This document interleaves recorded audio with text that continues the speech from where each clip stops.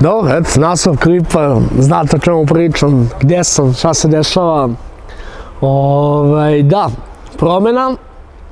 Neki ćete budete srećni, neki ste to očekivali mnogo, mnogo dugo, neki nećete da razumete, vi ćete ljuti, razočarani, da boli me pičko, prodao si Asus i tako dalje i tako dalje.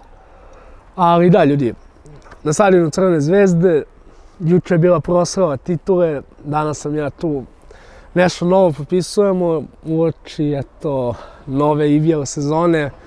A šta da vam kažem, ljudi, dve godine sam bio u Asusu, zaista im hvala od srca na, na prelepih tri sezone koje sam igrao, čak četiri za njih. Ovaj, mnogo stvari smo proživali, Asus će uvek da ostane ono, u srcu i zahvaljujući njima što su verovali u mene, dali mi šansu, da budem i menadžer i igrač, eto sad ću da budem i menadžer igrač ponovo samo u Crvenoj zvezdi.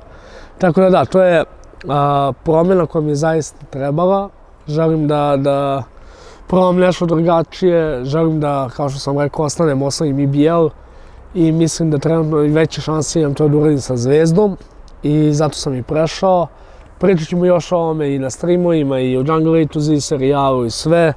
Ali da, evo, sa stadiona sam htio da vam kažem da potpisam za Crvenu zvezdu, da ću kod njih biti sljedeće sezoni, da se nadam da ćete me podržati, da ćete i dalje navijati za mene, da ćete ono, držati, a, da kažem, moju stranu, iako i dalje ostaje sva ljubav prema Asosu i sve veliki ovo transfer i velika je promjena.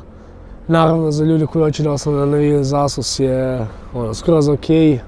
Tako da, to je bilo to ljudi, prešao sam u Zvezdu, pričat ćemo još o tome naravno.